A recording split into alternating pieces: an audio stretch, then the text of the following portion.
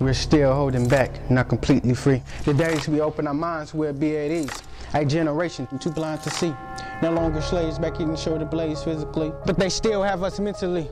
Young girls carrying babies because a boy spits our lives and calls a baby. Divided with the race, a young boy trying to be the case. We still don't grade one another. What happened to uplifting brothers? Malcolm X, Dr. King, you can't forget the rest. They died for what? Because we're not giving our best. So we carry on blindly dead, like a flower or water being fed. But I hope that we'll awake one day and break the chains in our minds, I pray. Lately, this generation been so crazy. My heart is aching and suffocating from hatred. My blood is drained. I feel the hands of Satan trying to take me.